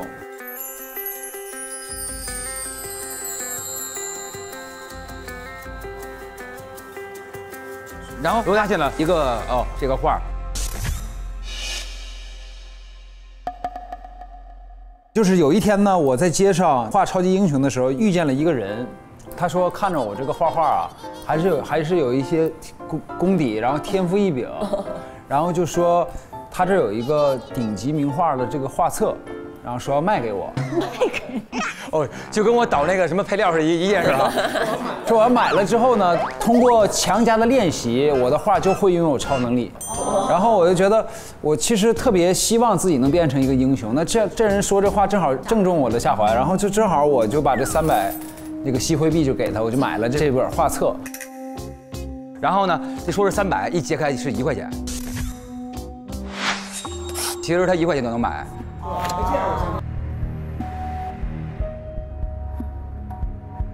哎，这样我想起来，我在黑市买东西就不亏了啊，可以。但是我从此以后，你看我经过多年的训练，我的画画其实比之之前是有一点进步的。有有有有有。然后我给我自己起名叫画画侠，没白吃亏，说明是不是没有白吃的亏？但是后边这白吃的亏就来了。然后这也是一位姐姐，她最开始以为这个姐姐是人人老实话不多，后来是发现这是人老实话不多啊。这个梗不错，这哎，个梗不错人老实话不多，可以可以断句笑话，谢谢各位，来抄一抄啊，大老师，你升华了，有一个新的高度断句笑话啊。然后他在网上网上碰见一个这个破浪姐，但是呢，他发现这个破浪姐呢要养孩子特别辛苦啊。他说破浪姐比我难多了，我要继续努力挣钱，给奶奶做手术，打不倒的都会被我征服，超级英雄加油！你奶奶又怎么了？一八二年那年呢，我奶奶突然就患重病了，然后我就手足无措，就是拼命的，就是开始打工挣钱了，然后给她凑那个医药费。这个破浪姐其实就是我在网上认识的一个姐姐，然后我们就一起找工作，一起干活，我们就觉得其实聊得特别合得来。然后当时她特别辛苦，在工地搬砖、跑腿儿，然后各种兼职，就为攒那点钱。然后呢，破浪姐也是帮他介绍了一些活儿。他就就写，哇，真的可以挣到钱，还多亏了我们破浪姐，她真的是太热心了。然后后来破浪姐跟他聊着聊着天呢，又说，他说不知道破浪姐怎么样了，很担心，担心她什么呀？他说他有一个求职的机会，就特别难得的一个机会。嗯，然后我说哎，这是一个好机会。他说那要先交三万押金，我然后他说他自己交了，我就也跟他一块儿交了。交完之后呢，就这人就渐渐就没了，有一阵子。哦，没想到几天，他说兼职出了问题，他说一定会帮我把钱要回来的。完说完这话，其实我们就有几天就没联系。那个时候我还很担心他，我说是不是出了什么事儿啊？嗯，而且当时你还说破浪姐一定是是去筹钱了，对啊，他说这么顽强的女人就是这么不听劝，他非常尊重她，就是这么一个事儿啊。对，最开始他其实目标就是攒八万块钱，但是他已经攒到快七万了，然后呢，这时候拿三万出去了，然后后来又转账转八万出去，后来又转账转两万出去，等于他还负两万。啊，欠了钱。啊，对。他有一个借条，你管张三跟李四儿借钱，借这些东西也是因为这八万吗？对，因为破浪姐是两个月没联系了，突然间她有一天跟我联系了，她说她儿子现在生重病了。马上要进 ICU，了现在急需十万块钱，然后否则她儿子没救了。然后我看到她那个非常焦虑这个文字啊，然后此时我这共情就开始了，所以我就把这个奶奶治病的八万块钱给她了。给他完了之后，他还不够，然后我说那怎么办？怎么办？然后我就管跟别人借，我跟别人借那是百分之百利息，你看，对，百百分之百利息，百利息，天哪！哎，跟别人又借了两万，然后就都给他了。哎，你就是纯纯的出于善良，没有任何，他拿拿拿到那把柄，就是共情了，因为我就觉得此时此刻他那孩子在 ICU 那儿肯定是非常着急。我奶奶虽然也需要钱治病，但是她这个更急迫。破浪姐是人非常好，她虽然之前那个还帮我要钱呢，又傻又善良，就是这意思啊，就是就是纯纯的，就是就是善良，他是善良的人。所以我先别给我奶奶看病了，我先给他儿子看病吧。你爷知道不这事儿？我爷爷不在了，只有我奶奶。他爷爷说这孙子真孙子吧。后来是怎么知道被骗了呢？哎，狠了。他这个群里头有一对好友，有一个黑名单黑名单是唯一一个人，就是这个破浪姐，多多气人啊！各位捂着点胸口听啊。好，来捂好，快。他问人家，问人家说儿，您儿子好了吗？那姐姐说你很烦啊，我根本就没儿子，我就是个骗子，社会很残忍的，这些钱啊，就当你给的学费，赶紧互相滚蛋滚犊子。给的学费，赶紧。哎，他他他善良到什么程度？大家捂住胸口。好，来来来。人都给他拉黑了啊，他还接着问说您是不是被盗号了？他依然觉得。这这不是骗局，是您被盗号了。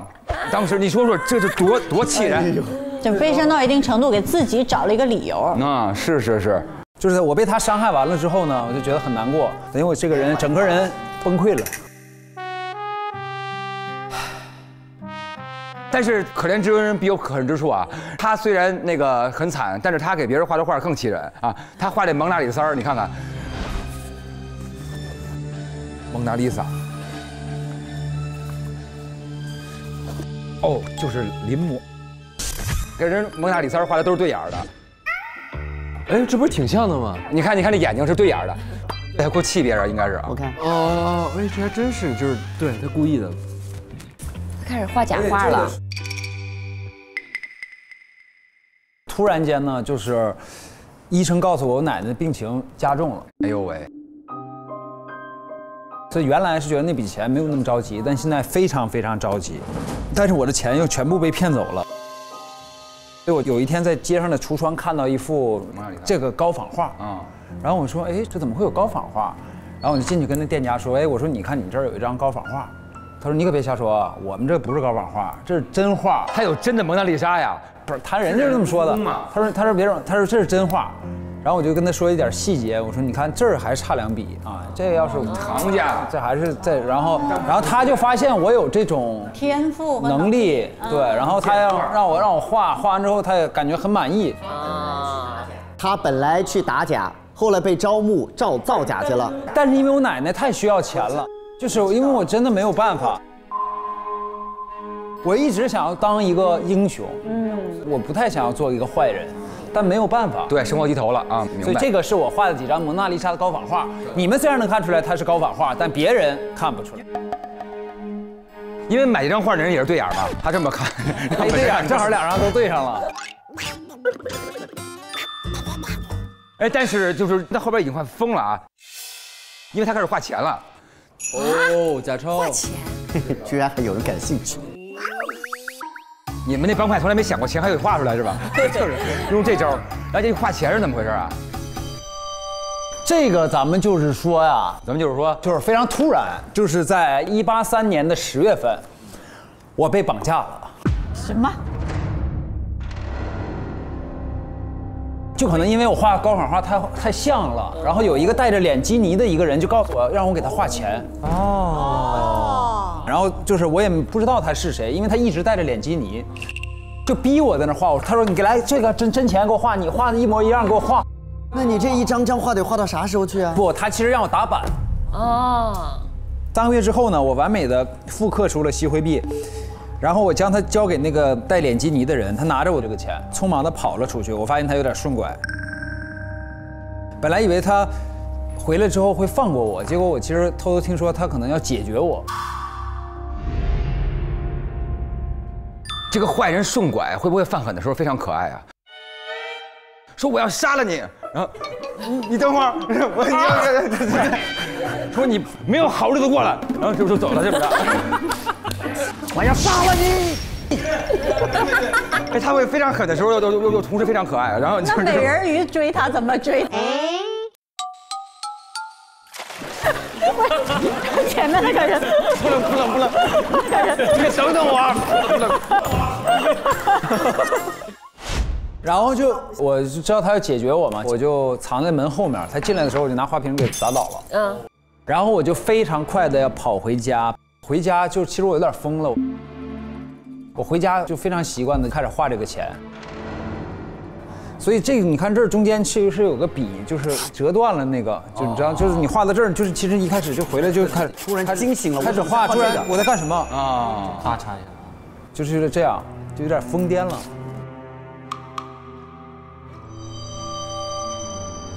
因为我怕带脸基尼那个人会来找到我，之后我就带着我奶奶跟我一起赶快就离开这里了。然后您这个画框上啊，有一张画，感觉是被刻下来给拿走了，这是什么画啊？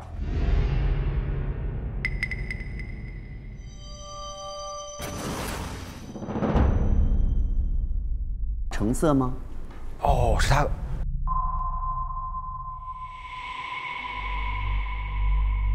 因为我现在是这样，我首先一呢，我不能再画假画了，嗯，因为我怕把我囚禁三个月的那个人，他看出我的这个假画，然后会来找到我，嗯，然后呢，我奶奶又生病，我还得挣钱，对吧？所以我就想要画这个橙色，因为它我知道它值一个亿，如果把它复刻出来之后调包，我就可以拿这个一个亿的画出去再卖，哦。然后这一笔钱其实不仅可以给我奶奶治病了，还可以从此以后就远走高飞。他所以他今天的目标是橙色。是偷画。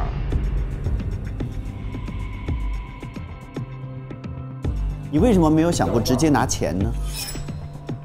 因为我不是，因为我是一个画家，就是我是有这种复制的，因为像他们，因为他脑子没想到那儿。君子爱财，取之有道。我作案其实不在银行，因为他这个画出去之后，我是要在他家里把它调包的。嗯，你今天为什么会来这儿啊？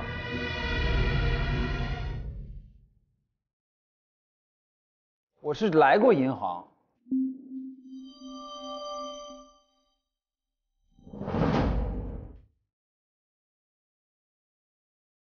我在酒店大堂发现了西辉大酒店的一个哦哦构造图。它有一个这个内部内部的图啊，就是再见再见再见，这个不重要。什么？什么？念了半天。然后嘞？然后那个在这个大堂的垃圾桶里，我发现了一个这个麻醉剂。哦。然后呢，麻醉剂上说适量就是麻醉嘛。还有一个针头，看见了吗？雷雷霆针头们。然后那个还有这个镊子，镊子上还带血。然后还有一个带血的一个。弹头，弹头，对啊。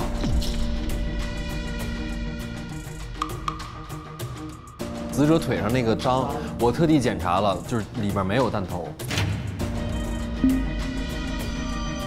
我在他房间里还发现了一个这样一个医药盒，这医药盒里有那些爆炸那些东西，所以是他给处理，是他给取出来的。两点十分左右，混乱中我看到一个顺拐形象绑架我的男人往酒店这边跑来。啊，懂了，咣叽一下认出来了。嗯，懂了。两点零八发生枪击嘛，十分左右他就回去了。我说这双拐，这不就是那脸基尼？这不就是弄我那个？对，我我我得弄他啊！对啊，我弄他，然后我就拿刀去了，回去，回房间拿起水果刀跑到大堂，正好看见他躺在大堂角落，好像是刚中一枪，不是很舒服的样子。我说你是不是那个脸基尼，就是囚禁我三个月那人？然后他说我不是啊，你又共情。然后于是你信了，然后你说那那那没事了，那走了，走了走了。没事，我帮你把我帮你把那取了，好吧？对对。哎呦，我没我没我我没我没见过你，我不认识你。我说那你那你那你怎么了？怎么了啊？哎呦，我这腿有点，他说我腿重了一弹，然后我就回房间拿起小药匣子，跑到大堂，打开小药匣子，麻醉，给他来一套麻醉，小镊子取蛋。意思就是说他受了伤之后还跑去你那儿了，对，那他怎么又死在现场了呢？那我就不知道了。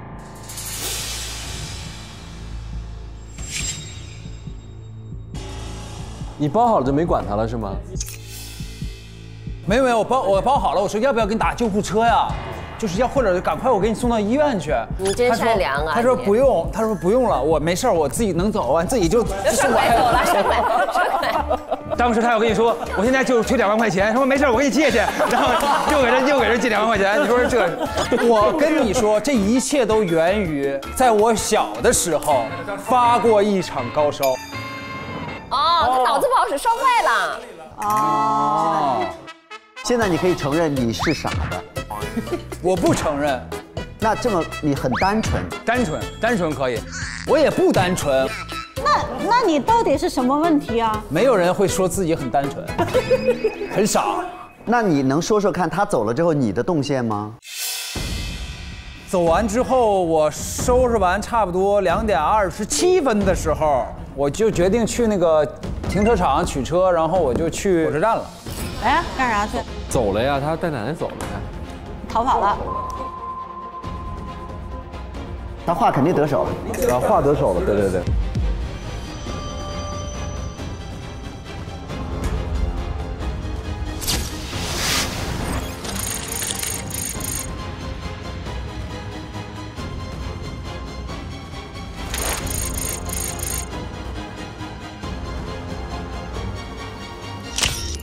一把手，我搜的是张罗的房间，第一个是他小时候的照片，上面写着张罗和甄小鹏今日结为兄弟。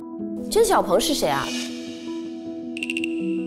甄小鹏就是我小的时候的的拜把子兄弟，也是我很崇拜的一个人。小时候呢，我是一个小乞丐，在我七岁的那年，也就是 M 幺七零年底，我在巨富大厦门口向这些富豪呃乞讨，因为冬天太冷了，我就被冻晕了。醒来的时候，我发现我住在一个温暖的棚屋里边，嗯，这个小鹏哥把我给救了。他就说让我别再去那些地方，那些有钱人都很势利，他没有爱心的。我们平民就应该有自己的志气，有自己的活法。穷帮穷啊，穷帮穷。他自己也地位也不高，他在菜市场杀鱼，每天看《孙子兵法》，嗯，然后他就说：“哎，我一定能干出一番大事儿。”嗯，那他现在在哪里啊？这个甄小鹏，那我能说吗？能说呀，这不现在问你呢吗？第二个是你小时候的成绩单，十一岁的时候，你的语文考了二十五分，数学考了二十分，英语考了十五分。这这这成绩啊！但什么考得好？没有，就三科。没有，真的没有。下学期的学生目标自己写的啊，我一定会好好学习，不辜负哥哥的期望。长大后，我一定会成为像哥哥一样超级无敌厉害的人。所以，甄小鹏做了什么让你如此崇拜他？他哪里厉害，哪里无敌？因为我小鹏哥是没什么文化的，他自己给自己规划的一个路就是用混帮派这样的方式出人头地。嗯，一七四年左右，他从那个卖鱼的身份的同时，他加入了浣熊帮，成为了浣熊帮的一员。但是在一七七年的时候，他因为帮浣熊帮去跟狗熊帮火拼，嗯被狗熊帮的人把腿打断了。啊啊啊，谁谁被打断上了？小鹏哥啊！之后呢，让我很气的就是说，你们浣熊帮没有一个人来帮他，他就被浣熊帮给遗弃了。我就对狗熊帮和浣熊帮都很不满，我觉得你们说的是道义，其实都是假的。嗯，一七七年这个事儿之后，我的小鹏哥他养好了腿伤，然后装了这个义肢之后，他慢慢的开始重新振作起来。嗯，他跟我说他找到了一些新的门路，一些新的生意的方式，就是去雨国。嗯，在雨国当时赚了第一桶金，就是卖一些假翡翠。我一开始也质疑过，说你卖假翡翠，这不是骗人吗？然后他给我灌输一个概念，就是说他挣挣够了钱之后，他要回到我们西辉市来整顿我们西辉市的这个帮派。嗯，啊，就是因为我觉得他是有有道义的，他告诉我他这个目的之后，我就觉得欺骗这个事儿似乎在我的道德观里面也没有那么的重要了。嗯，那也不能欺骗别人呀。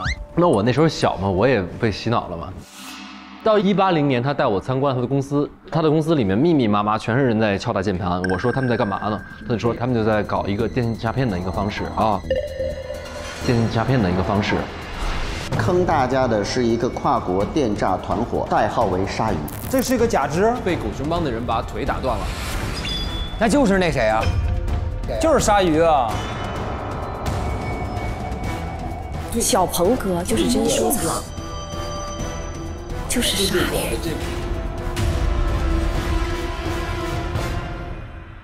我说这不是很坏吗？不是很危险吗？他说：A 想要出人头地，想要改变我的命运，想要重振西辉市的这个秩序，只有这样。然后哎，我又信了。你跟他一样单纯，多坏的事他听了就觉得还行，没没问题。他没付出一盒一分钱，我是真花钱了。他比他精点儿。但那个时候我是一个学生啊，他给我画了一个大饼，就是说一个最高目标是我们要重建西辉市的秩序。我觉得这事儿很热血，所以你就辍学了。哎呀，上面写的学校，你留得住我的人，却留不住我的心。快，你跟学校这么深情干嘛？本人主动且非常自愿的退学，因为我已经找到了比学习更有冲劲、更能改变我人生的事情了。他就给我带去那个产品公司参观了之后，我就觉得这事儿更有意义了，所以我就退学了。我说我要回这个公司干大事儿。在做的大事就是这个钓鱼手册。哎，大鹏展翅集团。一挑鱼分为挖建鱼池，就是各类社交平台加各种群组啊。心仪之鱼，社会青年、城市外来务工者、老年人，就专门坑那种弱势一点的啊。第二步就是养鱼，以己为饵，塑造苦情身份，比如说什么曾经遇到过伤痛啊，无法追求梦想，助力励志人设，扮演体贴性格。第二个是等鱼上钩，营造缘分相识，故意撩动心弦，让他坠入爱河。三钓鱼就是收竿宰鱼，初期无意提出赚钱途径，点到为止，留下遐想空间。中期抓准时机，让鱼少量投入并赚钱。后期博取同情，大笔入账，完成收割。哎呦！哎，那我能问问，破浪妈是你们那的不？不会就是他的 ID？就他本人，他就是那妈。哎，那你把钱还我呗？你还是想钱了。最后一个是鲨鱼啊，诱导鱼删除证据，主动断联，更换账号与设备，开启下一轮挑鱼。你是不是好像明白了一点什么？哦，那不是别人错加了微信，或者号被人盗了？什么？没事，他还在说那件事呢。他现在因为善良到，他还觉得是 其实其实是被盗号了，不是被盗号了。这个必须把它揭露，这个这个一整个体系。然后我发现了他的一部手机。他的手机里面有一些图片，对方是 P 群哥，在吗？是不是偷偷在做兼职？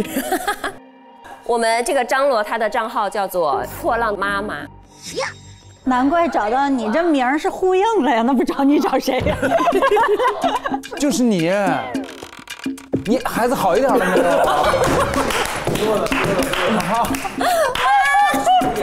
这女的人就在你隔壁。那个给你介绍一下，我儿子这么大了，就是你进 ICU 了。你好了，谢谢您啊。你是不是被盗号了？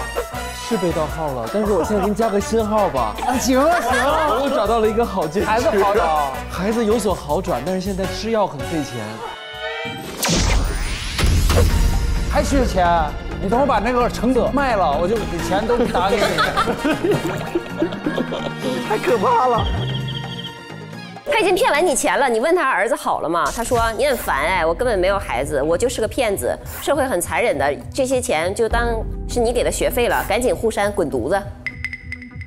这个 ID 是我的，就是前面都是我做的，就是以这个破浪的妈妈建了个群，养鱼、挖鱼池，这个过程都是我做的啊。用我们那个方式，就是让他交了三万块钱。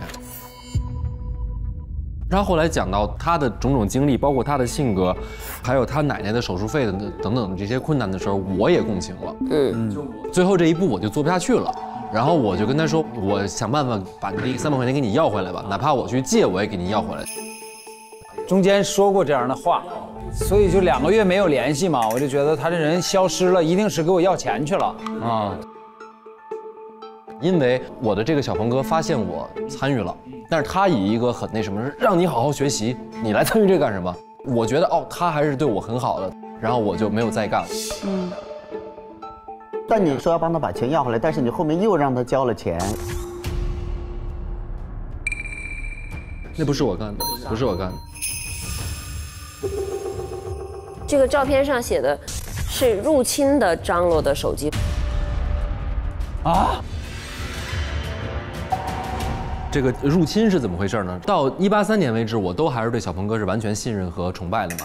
一八四年的时候，我意外在小鹏哥的电脑里边发现了一个叫“无孔不入”的软件，入侵的对象就是我的手机，等于我的手机上看到的聊天记录都是不完整的。后面的那些聊天记录，就我这里完全没有啊，所以我就觉得他莫名其妙把我删了，呃，我也不知道为什么。直到在他的软件上看到了，说他后续又跟人聊了那么多，不仅没有帮他把三万块钱追回来，还又骗了他十万块钱。我就拍了这个记录，问小鹏哥，我说那是一个很真诚，而且他是很穷的人，我们也是穷人出身，我们不应该去骗他。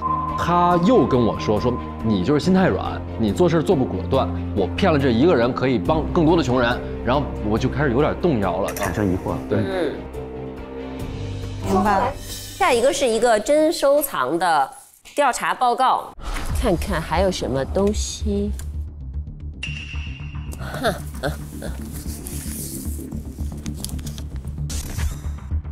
他的照片里真收藏的脸是下面带雨滴的，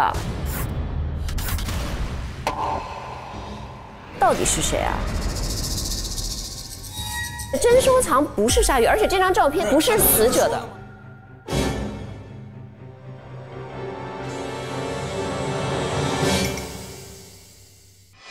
一八三年的时候，我和小鹏哥回到西辉市，那回到西辉市之后不久，就听说熊老大出车祸了嘛。嗯。然后小鹏哥跟我说，我们在西辉市没有一个好的身份，也没办法在国外赚的这些钱运回西辉市，这是我们最大的难题。我们只能通过拍卖、洗钱的方式把这些钱运回来。他还跟我说啊，他找到了一个人叫真收藏，他就给了真收藏一笔钱，让这个真的真收藏出国。他平时带一个编剧，以真收藏的身份在西辉市活下去。所以，我们看到的真收藏是扮演的真收真收藏，不是真的真收藏。重点是真收藏现在只是鲨鱼的一个 ID。对对。然后这下面还有写了他的行踪、习惯啊什么的，都基本消息都在上面。你是想对他做什么吗？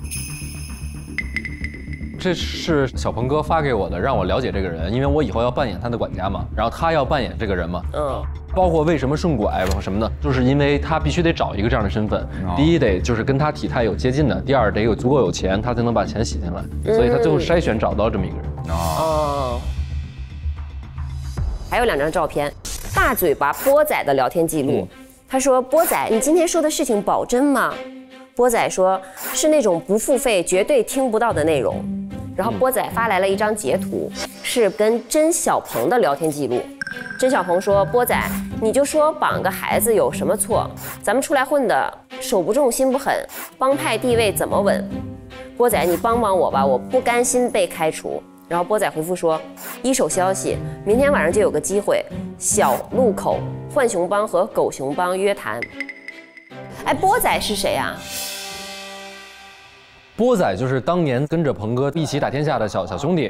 回到这儿之后，一八四年我就来到了我当年乞讨的那个巨富大厦，就看一看，就遇到了曾经一起混的这个波仔，我们就聊了一些当年帮派的往事。结果他突然跟我说，当年小鹏哥因为绑人家的孩子做人质，去跟人家要钱，要完钱之后还放高利贷。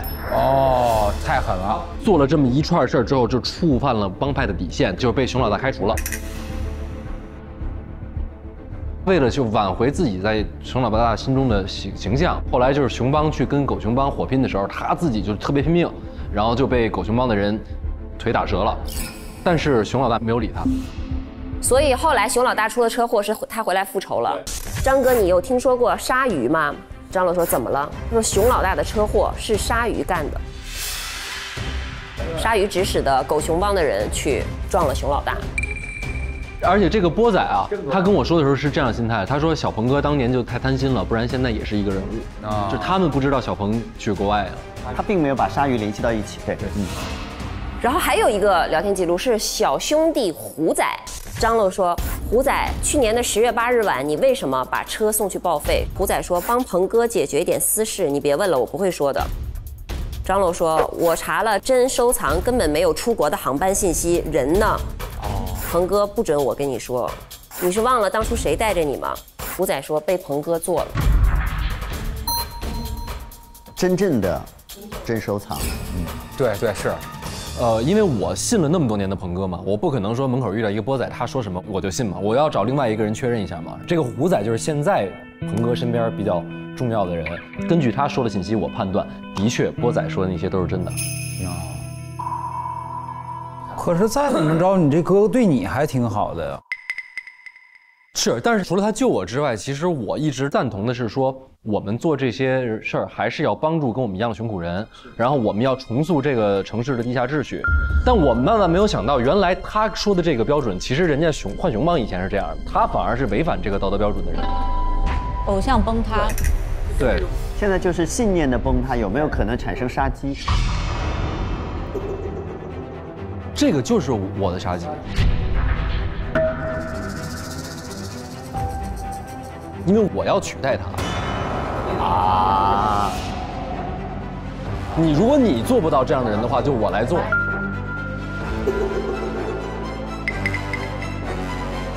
哎，他要是做回来之后，你那那你那笔钱应该就能回要回来，能要回来，他能给我。对，然后你就把那个黑黑名单再给弄回来啊，别不要再拉黑了。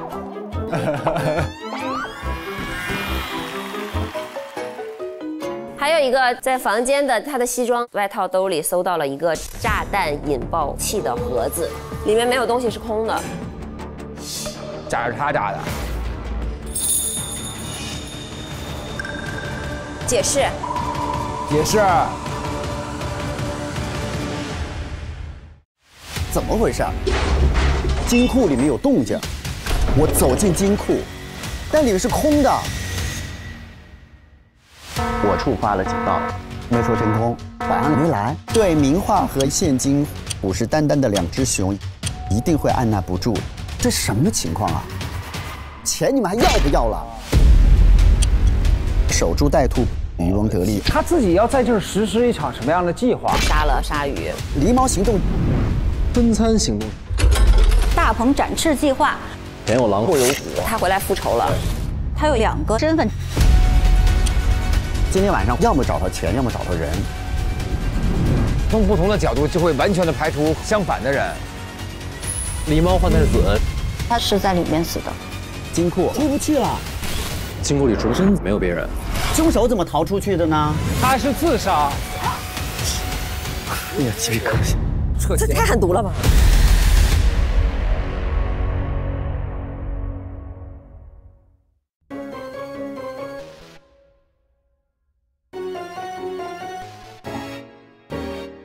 节目由安慕希独家冠名播出，真心真意安慕希长白山蓝莓酸奶最珍惜。玩剧本杀当大侦探，上百变大侦探 APP。本节目由百变大侦探 APP 赞助播出。动感新青年，一起放光芒。动感地带芒果卡，邀您一起观看大侦探八。感谢独家社交媒体平台微博，更多精彩内容尽在新浪娱乐微博综艺、新浪综艺。关注微博官方账号大侦探官微，实时 get 节目精彩瞬间。上微博参与大侦探话题点评，分享你的节目观后感。感谢首席合作新闻媒体新浪新闻、短视频互动平台抖音、战略移动资讯平台网易新闻、网易娱乐、网易谈新社、深度短视频合作平台快手、深度知识合作平台秒懂百科。世界如此简单。新闻客户端 Zaker 界面新闻特别合作 WiFi 万能钥匙 YY 直播墨迹天气智行怪兽充电智联招聘。媒体支持中国青年网、中国新闻网、国际在线、北青网、红网、凤凰娱乐、腾讯娱乐、搜狐娱乐。